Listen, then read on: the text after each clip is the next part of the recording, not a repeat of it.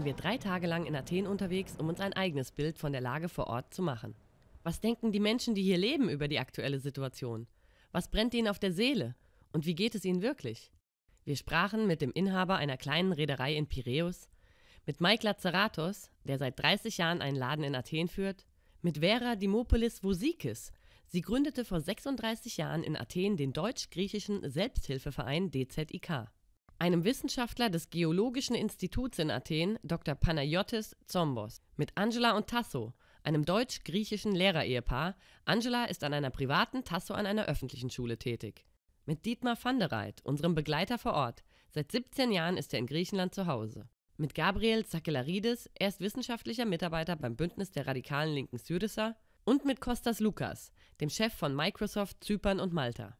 Außerdem interviewten wir die Menschen auf der Straße, am Arbeitsamt und wir befragten illegale Flüchtlinge in der Suppenküche einer katholischen Gemeinde. Wir wollen wissen, wie realistisch unsere deutschen Medien die Situation in Griechenland zeichnen. Nicht nur wir, Zunehmend mehr Menschen betrachten die Berichterstattung der großen Medienanstalten kritisch. Tasso erklärt uns zur Begrüßung, dass er eigentlich nicht ein Wort mit der Presse sprechen würde, da die Medien seiner Meinung nach sowieso nicht die Wahrheit sagen. Auch das Vertrauen seiner Frau Angela auf die Glaubhaftigkeit von Nachrichten ist gesunken. Ehrlich gesagt, also diese Krise hat mir auch gezeigt, inwiefern man den Medien eigentlich überhaupt noch glauben kann. Na, denn normalerweise hört man die Nachrichten und sagt, gut, okay, einigermaßen richtig. Oder man liest irgendwas im Internet oder in der Zeitung. Aber wenn du wirklich dich zu einem Thema informieren willst, musst du so viele Zeitungen lesen, so viele verschiedene und so viele äh, verschiedene Meinungen hören, um eine eigene zu bilden. Das ist eigentlich im Grunde schon fast unmöglich geworden. Diese Boulevardzeitungen sind dafür da, um Leute, die sagen wir, nicht so viel Zeit haben, sich mit den Materien zu befassen, die, so eine Gehirnwäsche zu machen und die zu führen, wohin die selber wollen. Und das große Kapital führt diese Boulevardzeitungen. Bei unserer Ankunft erinnern wir uns an die Fernsehbilder von der stark aufgeheizten Stimmung in Athen, an wütende Griechen und an brennende deutsche Fahnen. Hetzen die Medien hier friedliche Völker gegeneinander auf, um die eigene Macht zu erhalten? Oder hat sich die Beziehung der Griechen zu den Deutschen wirklich verändert? Zumindest die Sonne nimmt uns herzlich in Empfang. Zunächst fahren wir nach Piräus. Immerhin noch bis zur Länge von zwölf Metern sind die schicken Yachten in den Häfen von der erst kürzlich eingeführten Luxussteuer befreit. Der häufig bestreikte Fährhafen ist menschenleer. Wir entdecken auch die Touristenboote von Variety Yachting. Der Leiter der kleinen Reederei, Antonis Deliatos, empfängt uns in seinem Büro. Im letzten Jahr liefen die Geschäfte schwach. Die Tourismusbranche als einer der Hauptwirtschaftszweige des Landes ist stark eingebrochen, vor allem die Deutschen sind ferngeblieben, berichtet er. Er sieht unter anderem die einseitige Berichterstattung als Grund hierfür. Seit drei, vier Jahren gibt es das Bild von Griechenland, dass es ein unsicheres und verarmtes Land geworden ist. Und deshalb bleiben die Touristen fern. Das ist aber nicht wahr. Das ist nicht die Realität Griechenlands.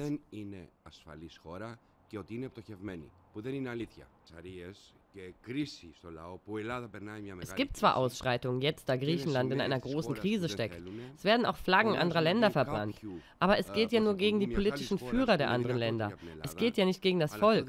Die Wahrheit ist, wir lieben die Deutschen und möchten die Deutschen auch wieder als Touristen und als Freunde in Griechenland begrüßen.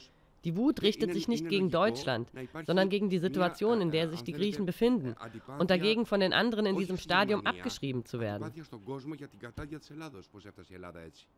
Ich meine, da ist natürlich von den Medien auf beiden Seiten, sowohl von den griechischen Medien als auch von den deutschen Medien, unendlich viel Böses angerichtet worden. Einfach Übertreibungen und so. Man sucht immer gern Sündenbock. Und äh, die Krise hier nach meinen, nach meinen Vorstellungen oder so ist zu ja, 80 Prozent hausgemacht. Und dann hat sich da die internationale Finanz- und Bankenkrise draufgesetzt. Und äh, das jetzt zuzugeben, ist natürlich hart. Und der Sündenbock ist dann also, äh, sind die Deutschen, ist Frau Merkel. Hinzu kommt noch äh, überhaupt zur Situation, dass man stark unterscheiden muss zwischen dem Land und, der, und den Inseln und Athen. In Athen ist es eine sehr aufgeheizte Stimmung, aber auch eben nicht jetzt in diesem Sinn, dass man als Deutscher gleich verhauen wird oder sonst was gemacht wird. Das werden Sie hier auch feststellen. Ja, ich denke, es ist für beide Seiten schwierig, das, die Politik von der persönlichen Seite zu trennen. Ich weiß, ich, ich persönlich habe manchmal sogar auch von Kindern an der Schule, haben sie mich gefragt, warum wollen die Deutschen uns nicht helfen? Also das solche Fragen, die kommen natürlich schon von kleinen Kindern. Sicher, jeder meint die Politiker, aber auch die persönlich, also auch die Bevölkerung bekommt es ab. Und das ist teilweise schon ganz schön bitter. Besonders halt auf die Dauer, wenn es halt so ein, ein langer Prozess. Ich meine, das, das hat jetzt angefangen, wann war es? 2009. Jetzt haben wir 2013 und es ist noch kein Ende abzusehen. Es ist ja so, das Verhältnis der Griechen zu den Deutschen hat sich nicht verändert, entgegen aller Medien, die das sagen. Die Griechen haben nichts gegen die Deutschen an sich. Ja? Man hat auch nie was gegen die gehabt, dass sie natürlich ab und zu mal sehr sauer sind über die deutsche Regierung und über die, die bestimmten Personen in der deutschen Regierung, kann man ihnen nicht übel nehmen, denn die wirtschaftlich stärkste Macht und die Macht, die am meisten Druck ausübt, dass die, diese sogenannten Rettungsmaßnahmen für die griechische Wirtschaft durchgezogen werden, kommen aus Deutschland.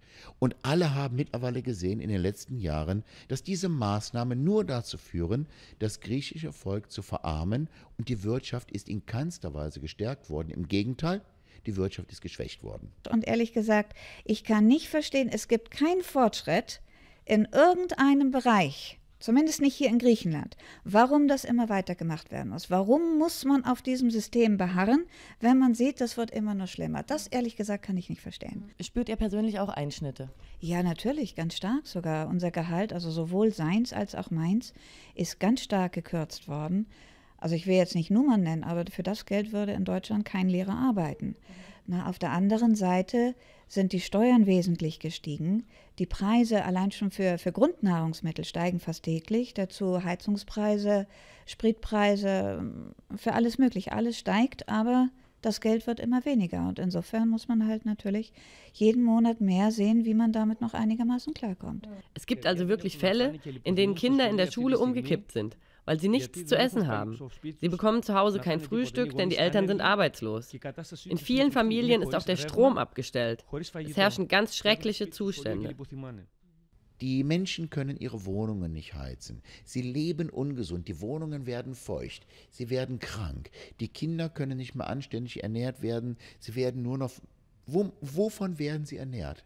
Von Nudeln und irgendwelchem Pampebrot.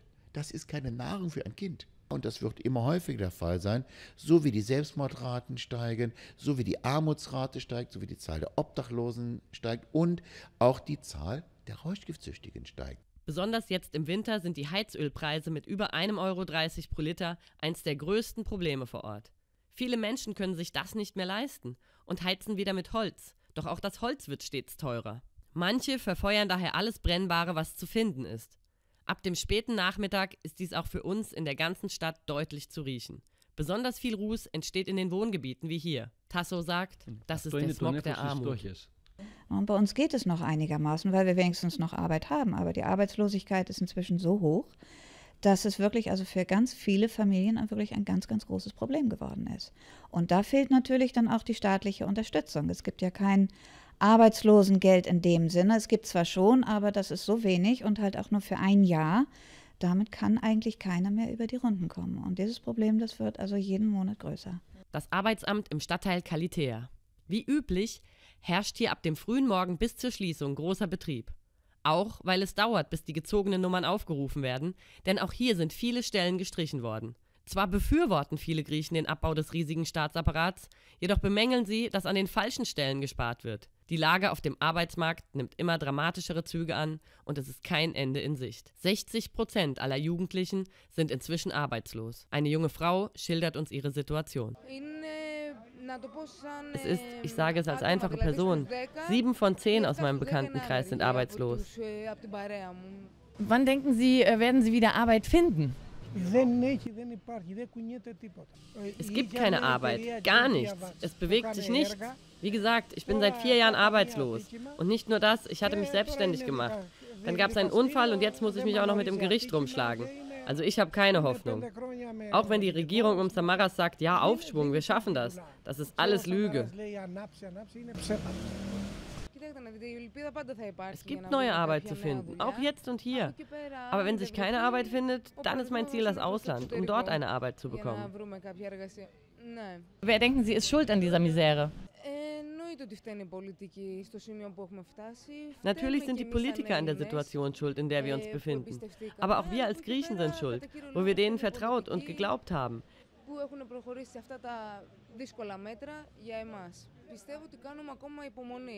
Ich glaube, wir haben noch ein wenig Geduld, bis die gesamte griechische Kultur und das gesamte Volk ausverkauft sind. Dann gehen wir raus, so wie sie es in Argentinien gemacht haben, mit den Töpfen vor dem Regierungsgebäude, damit die verstehen, wo wir sind, in welchem Zustand wir uns befinden, dem aussichtslosen Stadium, um genau zu sein. Wie überleben Sie seit vier Jahren?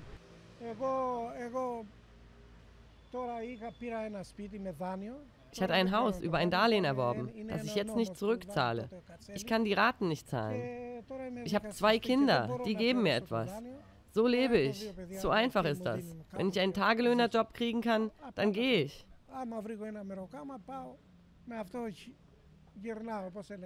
Was wäre Ihr Wunsch an die Politiker? Die Politiker, die das Sagen haben, die PASOK und die Nia Demokratia, machen nichts für das Volk. Man hört nur Worte, Worte, Worte. Schauen wir uns jetzt mal den jungen Herrn Tsipras an, was der so macht. Dann wird das Volk sehen, ob er hält, was er versprochen hat. Wenn nicht, dann geht er wieder. Genauso wie diejenigen gehen werden, die jetzt an der Macht sind. Als nächstes besuchen wir die Fischmarkthalle im Herzen Athens. Es ist zwar viel los, aber die Menschen kaufen nur noch die billigste Ware. Der Rest bleibt liegen, erzählt uns ein alteingesessener Händler. Kein Wunder, ca. 50 Prozent des Einkommens gibt eine durchschnittliche Familie inzwischen für Nahrungsmittel aus. Wenn es so weitergeht, sagt er, kann er seinen Stand bald zumachen. Sein Umsatz ist im letzten Jahr nochmal um die Hälfte geschrumpft. Auch er hat kein Vertrauen mehr in die althergebrachten Parteien. Dass die Politiker sich in Zukunft ändern, ist schwer. Die werden sich nicht ändern. Wir haben von den beiden Parteien gelernt. Wir haben die Erfahrung gemacht. Wir sehen, was bis jetzt geschehen ist. Was auch immer die sagen, sind Lügen. Die haben das griechische Volk für dumm verkauft. Es gibt keine Rettung. Die Politiker bleiben, wie sie sind. Fertig. Was sie wollen, geschieht. Aber hier, wegen der Krise, alles, was sich nicht gut fühlte, meinte, dass sie einen Demagog wie Herr Tsipras als, äh, als Politiker betrachten könnte. Also mittlerweile kenne ich keine politische Partei, die irgendwie so aussieht, als würden die wirklich was machen. Mhm. Was Gutes machen, eine Lösung bringen oder so. Die sehen doch den Wald vor lauter Bäumen nicht, die Typen. Das geht immer nur um mehr, mehr, mehr. Und das genau ist unser Problem wieder mal. Ne? Die Politiker versprechen irgendetwas, man glaubt es, man überlegt halt, wem glaube ich mehr, glaube ich mehr dem oder glaube ich mehr dem und wählt halt analog jeweils. Und ob es dann hinterher dann so kommt, wie es einem versprochen wurde oder nicht, das weiß man sowieso nicht. Das Land steckt wirtschaftlich und politisch in einer Sackgasse. Seit Jahrzehnten regieren immer die gleichen Familien das Land. Doch wieso hat sich die Bevölkerung nicht schon viel früher gegen die politischen Führer zur Wehr gesetzt? Hier in Griechenland war es sicher so, dass äh, viele, oder nicht viele, dass jeder halt irgendwo sich so seinen kleinen Vorteil gesucht hat. Und das ging halt auch Jahrzehnte gut, bis halt jetzt vor kurzem das Kartenhaus zusammengebrochen ist. Ne? Jede Partei hat ihre Anhänger nach ihrem Wahlsieg in die verschiedenen Pöstchen gehoben. So, ich werde von denen gewählt und ich besorge ihm den Job, ich mache, ich helfe ihm da, ich helfe ihm da. So hat jeder seinen Vorteil. Und das ging über Jahrzehnte so. Ja? Und das hat sich so eingenistet, nicht nur im Bewusstsein der Politiker, auch im Bewusstsein der Bevölkerung. Ja? Das, ist, das ist das eigentliche Wahlprinzip Griechenlands. Die, Griechenland hat verschiedene Listen zugespielt bekommen, hat dafür nichts zu bezahlen brauchen. Kein Mensch kümmert sich. Mhm. Man macht es, man macht nur den einfachen Weg, den, äh, der auch also den, die Politiker am wenigsten kostet, weil keiner sagen kann, ja, du hast mir das genommen. Sondern man hat horizontal gekürzt. Das bedeutet, äh, ja, die einfachen Leute bezahlen im Grunde genommen jetzt die Zeche. Ja. Und die Steuerhinterziehung. Da, gibt, da ist weiterhin kein politischer Wille zu erkennen, dass man dagegen angehen will. Und das ist das, was das Volk mit Recht wütend macht und wo ich sagen kann, also im Grunde genommen ist es also eine Mentalität teilweise wie vor der französischen Revolution. Mhm. Man möchte Hälse schneiden. Mhm. Ich auch. Wenn, äh, wenn der Mensch wirklich an eine Grenze gekommen ist in Bezug auf Armut, dann hört auch irgendwann die Logik auf und dann kann es wirklich sein, dass, ähm, dass die Menschen wirklich auch extremer werden. Ja, dass man halt nicht mehr unbedingt weiß, was man tut. Und dadurch kommt es halt dann auch zu solchen extremen Parteien und das ist etwas, was auch auf ganz Europa dann wieder übergreifen kann. Die Selbstmordrate zum Beispiel in Griechenland ist extrem gestiegen in, in den letzten Jahren. Und was natürlich, das ist natürlich tragisch genug, das ist ganz klar. Aber es kann natürlich sein, dass dann jemand die Pistole nicht unbedingt auf sich selbst richtet, sondern vielleicht auf jemand anders. Wir in Deutschland haben sehr, sehr schlechte Erfahrungen gemacht in der Weimarer Republik, als ebenfalls wir sehr große Sparpakete aufgelegt haben, hohe Arbeitslosigkeit entstanden ist. Es gab äh, rechts- und linksextreme Entwicklungen und am Ende war es das Ende der Demokratie. Ähm, wie gefährlich ist die Lage für die Demokratie in Griechenland momentan? Meiner Meinung nach ist es gefährlich, weil der Mit die Mittelklasse äh, wurde sehr stark gesch geschädigt, wie, wie gesagt, kann man sagen. Und es gibt viele Leute, die sich an, an extreme Parteien sich wenden. Entweder extrem rechts oder in Richtung linke Parteien. Also äh, die Situation hier ähnelt teilweise schon an die Situation, wie sie in Deutschland war, wie wir es so aus Dokumentationen kennen, äh, 1929 33, bis 1933.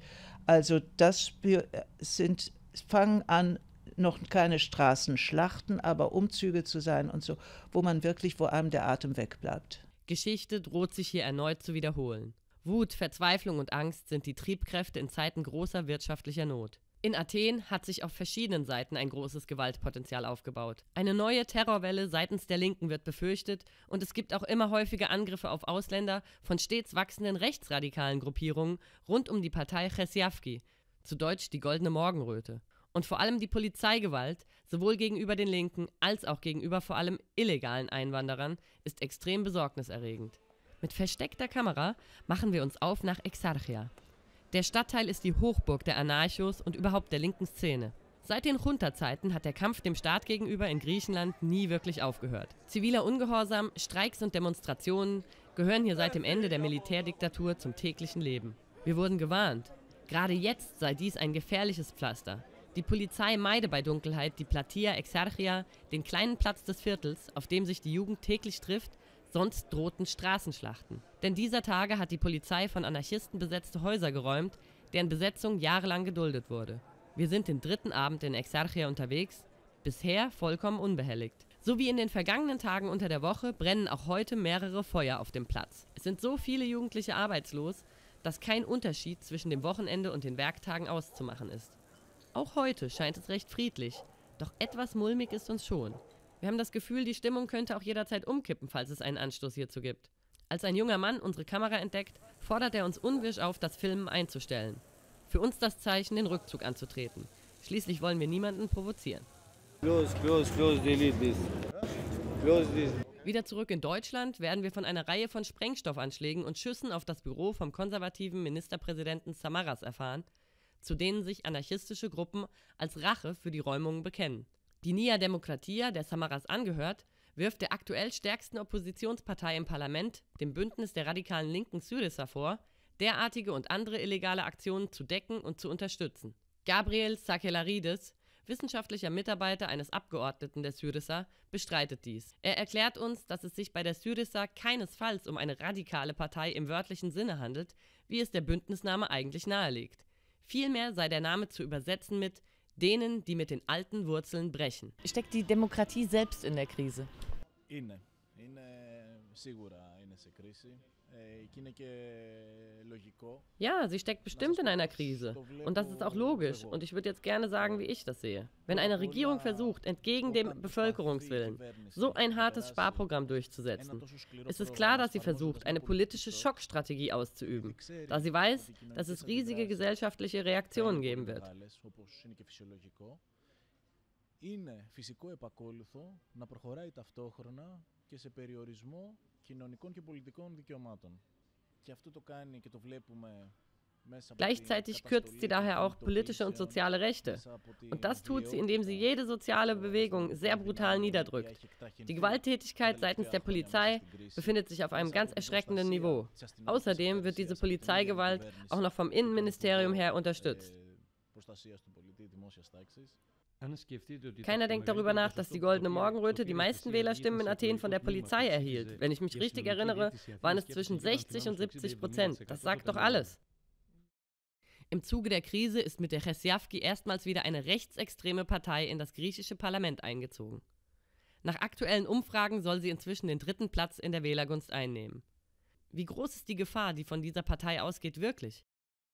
Ja, ich denke, das ist eine ganz große Gefahr, denn also die, diese Partei, die hat wirklich jetzt in den letzten fünf Jahren hat sie enorm zugelegt, aber das ist natürlich auch, äh, weil sie, sie hat äh, sehr bewusst auch nach Leuten gesucht, die sie, von denen sie gewählt werden können, einfach von frustrierten Leuten, die von den ähm, alten, von den althergekommenen Parteien keinerlei Unterstützung mehr bekommen und an die sie sich gewandt haben, gut, okay, von den alten Parteien bekomme ich nichts mehr. Vielleicht sind die der letzte Retter, der mir noch irgendwo helfen kann.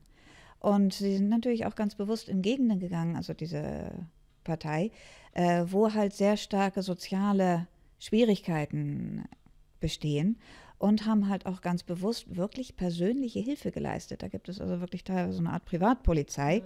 Wenn du ein Problem hast, dann geh nicht zur Polizei, sondern geh zur griechischen Morgenröte und die helfen dir. Und das machen sie, das wird natürlich ganz bewusst dann auch für politische Zwecke dann ausgenutzt. Und das, hm, da weiß man natürlich nicht, wo das enden kann. Man hofft natürlich, dass die Menschen, die genug, äh, ja, die halt äh, gebildeter sind oder die ein bisschen weiterdenken können, dass, man, dass es halt nur eine vorübergehende Erscheinung ist. Wenn die Morgenröte, wenn die Anhänger der Morgenröte jemanden verprügeln oder mit Messer niederstechen, ja, dann kommt das mal für einen Tag in den Nachrichten, vielleicht auch noch am zweiten Tag, am dritten Tag ist es weg. Machen die Anarchos irgendwas, dann ist das eine Woche lang in den Medien. Ein weiterer Punkt der Krise der Demokratie ist, dass die Regierung und auch die Medien während einer solchen Krise versuchen, die schwächsten Glieder der Gesellschaft als Schuldige und als verantwortlich für die Situation darzustellen, wie zum Beispiel die Migranten. Wie denken Sie, fühlen sich die ähm, ausländischen Einwanderer momentan hier in Athen? Sind die gefährdet? Äh sie sind nicht gefährdet. Eigentlich Athen war eigentlich, äh, Griechenland war, ich meine, der Eingangsort für alle diese, die weiter nach Europa gehen wollen. Also die müssen wir langsam aus dem Land bringen. Leben die momentan hier gefährlich? Es gibt, es gibt gewisse Teile Athens, die gefährlich sind. Es gibt sehr viele Pakistaner und, und die eigentlich äh, der griechischen Einwohner äh, Angst machen. Nicht? Wir machen uns auf, um im Außenbezirk der Stadt die Suppenküche einer katholischen Gemeinde, betreut von Mutter Teresa Schwestern, zu besuchen. Hier werden hauptsächlich illegale Flüchtlinge versorgt. Kaum außerhalb des Zentrums sehen wir einige Migranten, die in ihren Einkaufswagen Metallabfälle sammeln, um diese dann später an große Firmen zur Weiterverarbeitung zu liefern. Die Flüchtlinge hoffen, so ihre Pässe zurückzuerlangen und den Transport nach Griechenland abzugelten. Falls sie sich weigern zu arbeiten, wird von der Metallmafia mit Polizeirazzien gedroht. Bei der Suppenküche angekommen, bitten uns die Schwestern trotz Vorabsprache nicht zu filmen. Sie haben Bedenken, dass die Flüchtlinge sich nicht trauten zu widersprechen. Natürlich halten wir uns daran. Doch als wir am nächsten Tag wiederkommen, erklären sich zwei der Flüchtlinge bereit, mit uns zu sprechen und uns ihre Lage zu schildern. Zuerst erzählt Samuel. Es wird schlimmer, weil die Situation, während ich jetzt vor dir stehe, ist folgende. Ich habe keinen Platz zum Schlafen. Es gibt keine Unterkunft und was zu essen zu finden ist sehr schwer. Das Einzige, was ich tun kann, um zu überleben, ist hierher zu kommen, um etwas zu essen zu bekommen. Es gibt niemanden, der sich um uns kümmert. Was wünschst du dir für deine Zukunft? Ich kam hierher mit dem Wunsch nach einer besseren Zukunft. Ich glaube an Gott. Ich weiß, dass etwas Besseres passieren wird. Ich fühle mich in, in, in eine arabische Länder oder in, in, eine, in die Türkei. Man fühlt sich in einem Diktaturland, nicht ein Demokratieland, nicht eine in UNO, in, in, äh, in, in europäische äh, Mannschaft. Nein. Okay, Griechenland ist okay. Griechenland Name ist Europa, aber ist er realistisch? Nein. Es gibt keine Menschenrechtsbüro hier in Athena.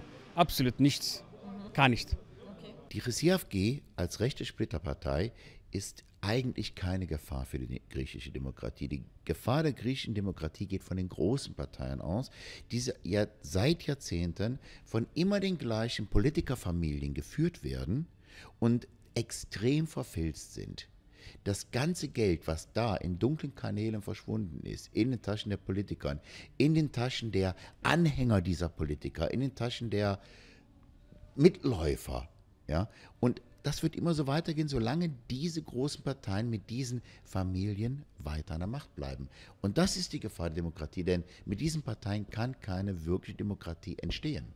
Hier in der sogenannten Wiege der Demokratie scheint diese von verschiedenen Seiten bedroht. Mike Lazaratus jedoch sieht das ganz anders. Wir haben jetzt genau Volldemokratie. Mhm.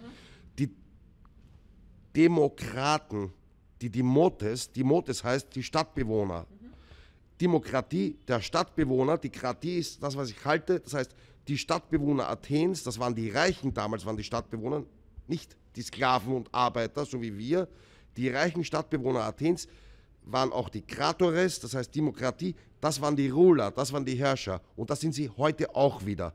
Die Superreichen, die sagen an, wie es gespielt wird. Trotzdem die Bevölkerung extrem unter dem Spardiktat der EU leidet, wollte keiner unserer Gesprächspartner zurück zur Drachme. Uns wird gesagt, dieser Gedanke ist für die stolzen Griechen eine Beleidigung. Wir kommen auf die Einführung des Euro zu sprechen. Ich denke sicher, äh, der, ob der Euro nun gut ist oder nicht. Ehrlich gesagt, ich denke, dass das, was jetzt passiert, war von vornherein klar. Mhm. Und ich denke auch, dass sie daraufhin spekuliert haben, weil wirklich einige daran sehr viel verdienen. Mhm. Ich meine, es war logisch, dass dass das nicht geht. Wie kannst du so viele verschiedene Völker mit so verschiedenen wirtschaftlichen Ideen versuchen, unter einen Hut zu bringen? Das funktioniert nicht. Und ich glaube auch gar nicht, dass man ein besonders großer Wirtschaftsexperte sein muss, um das zu verstehen. Man wusste es doch in Europa, dass das alles nicht stimmt. Und ich meine, und man soll sich jetzt hier nicht so also von den Europäern aufs Hohe raussetzen. Mhm denn sie haben sich haben alle da die Augen zugemacht oder sich damit goldene Nasen auch verdient. Eine Freundin von mir ist in Brüssel tätig und die sagte mir, dass teilweise dann also auch dann die zuständigen Kommissare, die wollen teilweise auch, dass es nur, also dass so sie mit einem guten äh, Tätigkeitsbericht abschließen können, aber um Gottes Willen keinen Sand so dazwischen äh, gestreut kriegen. Nicht? Mhm. Dass, als man äh, bei irgendeinem größeren Projekt darauf hinwies, dass das mit der Kontrolle der Gelder nicht so richtig klappte, äh, sagt man, ja, wir haben jetzt ja doch Kontrollkommissionen äh, eingesetzt. Das waren die, die vorher auch also für die Weiterleitung der Gelder verantwortlich waren. Aber das wollte man dann nicht mehr wissen. Irgendwie sieht das so aus, als wäre diese Krise nur dazu gemacht, um an ärmeren Völkern, die natürlich auch Scheiße gebaut haben, wie Griechenland, Italien, Portugal etc. etc. Aber wir werden jetzt als Trittbretter benutzt, um generell äh, die Löhne zu drücken. Viele Griechen fühlen sich als Versuchskaninchen nicht der Europäischen Union, sondern der Kapitalgesellschaft. Ja? Wenn wir das in Griechenland durchsetzen können, dass wir ein komplettes Land privatisieren und die Angestellten einfach zu Arbeitssklaven machen, ohne dass die Bevölkerung wirklich ernsthaft auf die Barrikaden geht und sowas wie eine Revolution anzettelt, dann können wir das in jedem anderen Land durchführen. Es ist ja nicht so, dass die Menschen in Griechenland nicht auf die Straße gingen. Fraglich ist, ob sie hiermit etwas bewirken. Eine Demonstration oder wie auch immer ist ja dafür da, dass die Menschen ihre Meinung mitteilen und dass die hoffentlich auch gehört und berücksichtigt wird. Wird sie berücksichtigt? Ja, man hofft es natürlich immer und deswegen geht man halt wieder auf die Straße. Aber ehrlich gesagt, also in letzter Zeit habe ich so ein bisschen das Gefühl, es ist den Politiker völlig egal, ganz egal, wie viel Tausende, zigtausend oder auch hunderttausend Menschen auf die Straße gehen.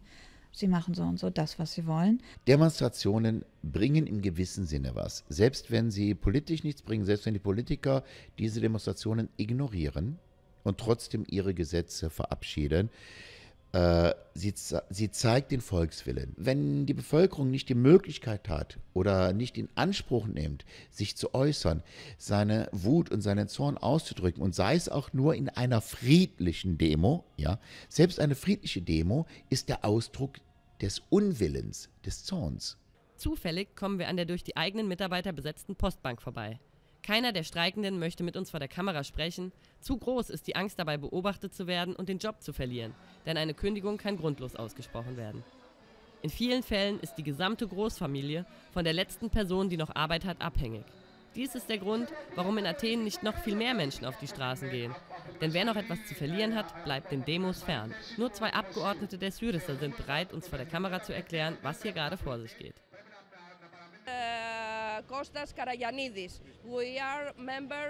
Wir sind Politiker des griechischen uh, Parlaments von der radikalen Linken. Wir sind hier, um die Angestellten der Postsparbank in ihrem Kampf zu unterstützen, damit die Bank nicht verkauft wird. Denn das ist der neue Plan der Regierung. Die Bank soll verkauft werden, um wieder Geld in die Kasse zu kriegen. Damit sind die Arbeitsplätze und die Gehälter in Gefahr. Das ist das, was schon mit anderen Banken in Griechenland passiert ist. Die wurden verkauft an europäische Banken und die Angestellten wurden entlassen und die Gehälter gekürzt.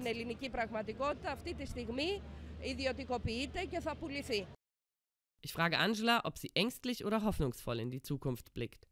Ich muss sagen, ich bin wütend. Er sagt zwar, er ist nicht wütend, ich bin furchtbar wütend. Das macht mich ganz wahnsinnig, diese Situation, ganz einfach, weil sie furchtbar ungerecht ist. Äh, ängstlich bin ich insofern in Bezug auf meine Kinder weil ich halt auch nicht weiß, wo meine Kinder in den nächsten Jahren arbeiten werden oder ob sie überhaupt irgendwo arbeiten können. Die ganze Ausbildung, die. Ja, wir schicken sie dann nach Deutschland. One more. Two more. ähm, was würdest du dir wünschen, was die Politiker sowohl in Europa als auch in Griechenland im Speziellen ähm, ändern sollen? Oder welche Richtung sollte deiner Meinung nach eingeschlagen werden? Was wäre der richtige Weg? Eigentlich nur, indem man sich von diesem Bankensystem und den großen Finanzorganisationen lösen kann. Und wir müssen wieder mehr unsere menschliche Seite zum Vorschein bringen, nicht nur die Gier nach Geld. Wir brauchen eine politische Vision von unserer Zukunft. Wie soll unsere Zukunft aussehen? Die aktuelle Vision der letzten Jahre ist es, nicht bankrott zu gehen. Menschen können nicht inspiriert werden von der Vision, nicht bankrott zu gehen.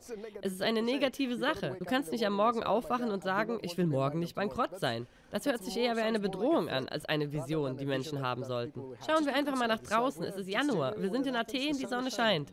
Wer hat denn außer uns einen Vorteil davon? Niemand. Wir könnten uns jetzt auch raussetzen und einen Kaffee trinken. Was ich meine ist, die Energieressourcen sind definitiv eine der größten Wetten für das kommende Jahrhundert. Ich schaue mir das als ITler, aber auch von der ökonomischen Seite an. Das Bedürfnis an Energie steigt jedes Jahr. Es ist also ein ziemlich sicheres Investment. Wenn wir nun also eine große Wette abschließen wollen, sollten wir in diese Richtung gehen. Wir in Europa sind mit die größten Energieverbraucher weltweit. Also sollten wir auch zu den größten Produzenten gehören. Warum sind wir es nicht. Wir haben die Ressourcen, genau das zu werden. Ich, ich sehe da also keinen anderen Weg als jetzt äh, Augen zu und durch. Mhm. Durch dieses wirkliche Tal der Tränen. Wenn Sie sehen, wie verelendet die Stadt auch ist, wie jeder dritte Laden geschlossen ist. Äh, aber ich meine, es ist, war auch so, dass auch vorher, es war eine unheimliche Blase. Wir brauchen Investitionen aber die kommen natürlich auch nicht so von heute auf morgen. Und das ist dann auch wieder, wo also so der griechische Volkscharakter da eine Rolle spielt. Das braucht ein großes Umdenken. Denn der Grieche möchte schnell was sehen. Mhm. Und das geht alles nicht schnell. Diese ganzen Reformen brauchen alle Zeit. Und Investitionen auch brauchen auch Zeit. Unsere Agrarfelder sind noch nicht so stark verseucht wie auch die überdingte, überdingte Felder äh, Nordeuropas. äh, es wäre für Bio Bauten, für Bioagrarprodukte wäre in Griechenland in der Richtung auch sehr interessant. Äh, ähm, und, da, und, das genau, weil die nicht diese europäische Politik streng verfolgt haben bis jetzt. Und weil die, Wendung gekommen ist und alle Leute an Bioprodukte interessiert sind, könnte Griechenland in der Richtung ziemlich viel äh, äh, anbieten. Europa muss äh, äh, also ein, ein Bundesstaat werden. Meine, da, wir haben zu lange eigentlich, wir haben das Euro äh, aufgenommen, bevor wir zuerst die Strukturen Europas hatten. Das muss weitergehen. Man müsste es vielleicht irgendwie in einem System so machen, dass es für die ganz oben an der Spitze doch ein bisschen riskant ist. Mhm. Dass die vielleicht nicht ihre politische Immunität haben. Warum gehen die Politiker in Deutschland, in Österreich, in, in Griechenland, in Spanien, warum gehen die nicht in den Knast? Mhm. Die einzigen, die sich getraut haben, sowas zu machen, waren die Iren. Ne? Mhm. So ein bisschen probiert. Kritische Griechen wissen genau, wir haben so lange mitgemacht, wir haben die Parteien mit unserer Klientelwirtschaft unterstützt, dass wir es mitgemacht haben. Wir müssen wirklich, wir müssen uns selber ändern, damit wir unsere Politiker ändern. Und wenn wir das politische System ändern, dann können wir auch Griechenland ändern. Ja, das ist das, was man sich wünscht, dass alle Menschen sich irgendwo zum Besseren wenden, ein bisschen ihre persönliche Gier zurückstellen und ein bisschen mehr an das Gemeinwohl denken. Aber man kann nur versuchen, bei sich anzufangen. Ne? Wie weit das weitergeht, das weiß man nicht. Dem ist eigentlich nichts mehr hinzuzufügen. Doch das Schlusswort überlassen wir Dietmar, der nochmal eine Lanze für seine Wahlheimat und die Menschen hier brechen möchte. Die Griechen verstehen es, trotz einer Krise noch zu leben, sofern es ihnen möglich ist. Sie haben es trotzdem nicht verlernt zu feiern. Sie haben einen extrem großen Lebensmut und immer noch, und ich hoffe auch noch lange, einen starken Optimismus, der sie am Leben erhält. Und alles das, diese Kraft, diese Lebensfreude, ja, die ist es, oder das ist es, was ich schon immer an den Griechen geliebt und geschätzt habe. Also mein, mein Aufruf wäre, Griechenland ist genau wie immer. Es hat sich nicht geändert. Die Griechen sind den Deutschen gegenüber genauso freundlich und nett wie immer. Das Meer ist genauso schön, die Inseln sind genauso schön, die Sonne ist genauso warm wie vorher, das Essen schmeckt genauso gut wie vorher. Kommt nach Griechenland und lasst euch einfach einen schönen Urlaub hier machen. Ja, ja.